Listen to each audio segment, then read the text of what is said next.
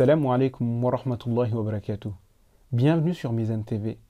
Aujourd'hui, nous aborderons la pédagogie du prophète sallallahu alayhi wa sallam avec les enfants. Allah subhanahu wa ta'ala, en nous parlant de son noble prophète Mohammed sallallahu alayhi wa sallam dans le Coran al-Karim, il nous dit لَقَدْ كَانَ لَكُمْ فِي رَسُولِ اللَّهِ Et vous avez dans le messager de Dieu, Uswatun hasana, le meilleur des exemples, le meilleur des modèles.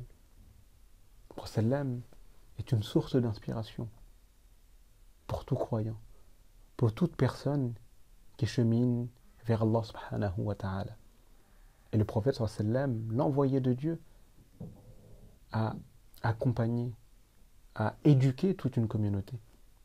Et donc il serait intéressant de voir quelle est la posture qu'il a adoptée, quelle est la méthodologie qu'il a adoptée, et notamment et essentiellement avec les enfants.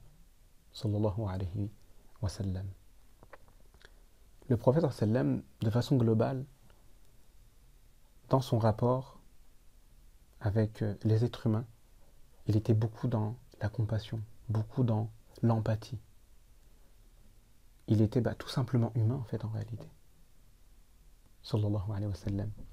Et Allah subhanahu wa ta'ala nous dit illa rahmatan lil alamin et nous ne t'avons envoyé qu'en tant qu'amour rayonnant pour l'univers. Donc cette qualité du prophète l'a accompagné tout au long de sa vie. Et dans chacune de ces interactions, cette qualité du prophète sallam rejaillissait. Concernant les enfants, prenons des exemples concrets qui vont nous marquer. Mais même les enfants qui ont entouré le prophète nous les appelions les sahaba. Dans le terme sahaba, il y a la notion de compagnie. Donc le prophète sallam, c'est par la compagnie, c'est par le lien qu'il créait avec eux qu'il les éduquait. Et parmi les enfants qu'il a éduqués, nous avons Ali ibn Abi Talib, nous avons Zayd ibn Harith. Si nous reprenons l'exemple de Zayd ibn Harith, qui a vécu dans la demeure du prophète Mohammed sallam, avant qu'il ne soit prophète, ce dernier, lorsque ses parents étaient venus le récupérer parce qu'il était esclave, a préféré rester aux côtés du prophète en disant que le prophète avait été un père et une mère pour lui tellement il l'a comblé d'affection, tellement il l'a comblé de, bienveillance et de douceur. Or, nous nous trouvons dans une société où l'esclave n'était pas considéré. Le prophète a fait ressentir cela à une personne qui été considérée comme étant esclave. Le prophète a éduqué Ali,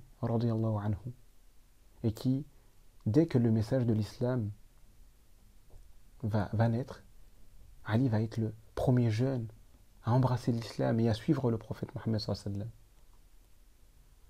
Donc, à cet âge-là, à 10 ans, on est entouré, on est accompagné des personnes, on aime être en, compagnie des personnes qu'on aime. Donc si Ali anhu, a décidé d'embrasser le message de l'islam à ce moment, c'est qu'il ressentait bah, la sincérité de son cousin, sa bienveillance.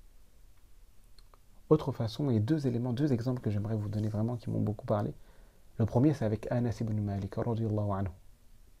Anas ibn Malik a vécu une dizaine d'années dans la demeure du prophète.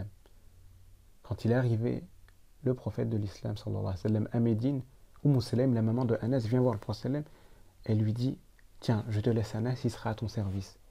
J'aime dire personnellement que j'ai l'impression que c'est plutôt le prophète sallam qui a été au service d'Anas. Et un jour, le prophète sallam demande à Anas, d'aller faire quelque chose. Et Anas se rend, et sur le chemin, il rencontre ses amis, il commence à s'amuser. Le prophète sallam s'inquiète et sort s'enquérir de l'état de Anas. Et à ce moment-là, il s'aperçoit qu'Anas est en train de jouer. Je te pose la question, et je me pose la question à moi en premier. Qu'est-ce que j'aurais fait à ce moment? Certains auraient dit, mais qu'est-ce que tu fais? Depuis tout à l'heure, je t'attends, etc. Je suis mort d'inquiétude, etc., etc. D'autres, malheureusement, auraient été violents. La réaction du prophète de l'islam, c'est là où il enseigne, il sait qu'il a un jeune face à lui, il sourit et il s'en va faire ce que lui-même avait demandé à Anas ibn Malik. Là est la pédagogie du prophète Mohammed. Là est la douceur du prophète Mohammed. Là est l'intelligence du prophète.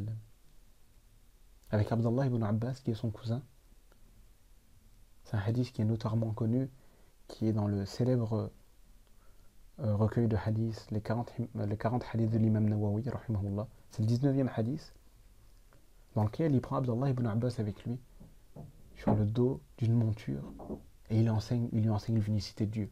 Il lui enseigne le fait de compter uniquement sur Dieu.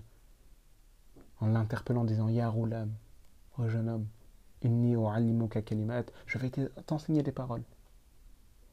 Et donc à ce moment-là, Rossalam commence à lui transmettre. Donc il est avec lui, il est dans leur compagnie, il est dans leur proximité. Et à ce moment-là, il transmet. Il n'est pas dans, un, dans une salle de classe à ce moment-là. Il est dans un moment de vie. Il est littéralement dans le compagnonnage. C'est vraiment par l'accompagnement Rossalam, c'est par ce moyen-là que le, messager de Dieu sallam, a éduqué, a éduqué cette jeunesse. Deux autres exemples, avec des, des, membres de sa famille qui l'ont entouré. Concernant ses petits-enfants, comment le prophète il éduquait ben, Il leur témoignait l'affection qu'il avait pour eux. Il embrassait ses petits-enfants. Et un jour, un bédouin qui n'avait pas cette habitude-là dit au prophète de l'islam J'ai dix enfants et jamais j'en ai embrassé un. Prophète m'a dit euh, Toute personne qui n'a pas su faire preuve de miséricorde, ben, miséricorde, clémence ne sera pas faite à son égard. Donc, comment il le montrait? C'est par les gestes. C'est comme ça qu'il transmettait. Un autre jour, concernant ses petits-fils, quand il apprend que bah, ils se sont, bah, ils étaient en train de jouer, mais les adultes les ont perdus de vue et on vient l'alerter, il sort et ils, les, ils finissent par les retrouver et il s'aperçoit en fait qu'ils sont apeurés les deux, Hassan et Hussein, et il s'approche d'eux parce qu'il y a un serpent qui les fait peur et le serpent part. Et là, le prophète de les, de les chérir, de d'avoir de, la tendresse et de la douceur avec eux et de leur rappeler qu'il va les protéger. Et enfin, le dernier et beau l'exemple que j'aime énormément, euh, c'est avec sa fille Zainab, Fatima plutôt, anha. Prophète allait rendre visite à sa fille. Et elle également venait lui rendre visite. Et quand elle, venait lui rendre visite, Prophète se levait de sa place, l'accueillait, l'embrassait sur le front et lui demandait de s'asseoir à sa place. Et vice-versa. Elle aussi, elle prenait cette habitude, lorsqu'elle accueillait le prophète de lui rendre l'appareil. Donc le prophète comment il a éduqué cette jeunesse et ses compagnons qui, qui, les, qui les entouraient Je pense que la première chose, c'est vraiment dans, la, dans le rapport et dans le lien qu'il tissait avec eux. Un jour, pour transmettre un enseignement à Mu'adh ibn Jabal, il dit Wallahi inni la uhibbuk. Il jure, oh, par Allah, moi je t'aime. Et ensuite, il lui transmet l'enseignement. Et je trouve ça vraiment beau. Il lui témoigne ton affection. Les conseils que je vais te donner, c'est dans cette perspective-là. Donc, l'accompagner de ces personnes, l'affection profonde, encore une fois, le prophète il était là en tant qu'éducateur, on ne peut que éduquer avec amour. C'est ultra important. C'est par l'amour qu'on pourra éduquer. Si c'est bah, histoire de, sortir son ego, montrer que je suis le plus fort, je suis le bel éducateur, et ça se réalisera par euh, l'autoritarisme, non, c'est pas comme ça. C'est vraiment, je veux le bien. Quelle est la graine de la vérité et que je vais planter dans son cœur bah, Si on veut planter une graine dans le cœur, et qu'on veut qu'elle germe et qu'elle donne quelque chose de beau, quelque chose de, fructueux, bah, il faut le faire avec amour. Il faut le faire avec bienveillance, il faut le faire avec empathie, il faut le faire avec sincérité. Et il faut le faire de la manière dont on aurait souhaité que cette chose-là nous soit transmise également. Donc il y avait l'amour que le prophète leur portait, leur vouait, le lien qu'il avait avec eux, la proximité que le prophète il avait avec eux. Et enfin la dernière des choses, je pense, dans la pédagogie mohammedienne, c'est l'exemplarité. Il a montré tout le temps l'exemple. Quand on demande à Aïcha, anha, son épouse, quel était son comportement, elle disait Sa moralité, son comportement, son éthique étaient les enseignements du Coran al-Karim. Pas besoin de mille discours. Il incarnait. Et ensuite, il demandait de réaliser ces choses-là. Si on aspire à vouloir transmettre, si on aspire à vouloir être des éducateurs authentiques, sur le chemin et sur la voie du prophète Mohammed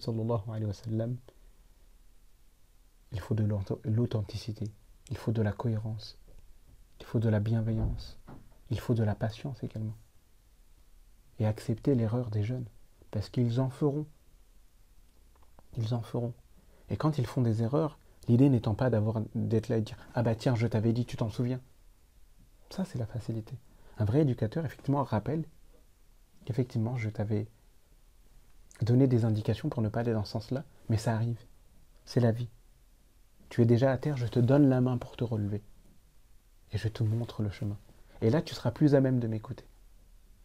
Mais je ne te piétine pas si tu es déjà à terre. En disant Ah oui, mais je t'avais déjà dit, bah, c'est un peu piétiner la personne. Donc voilà. J'espère qu'on se retrouvera pour une prochaine chronique. D'ici là, prenez soin de vous. Wassalamu alaikum wa rahmatullahi wa barakatuh.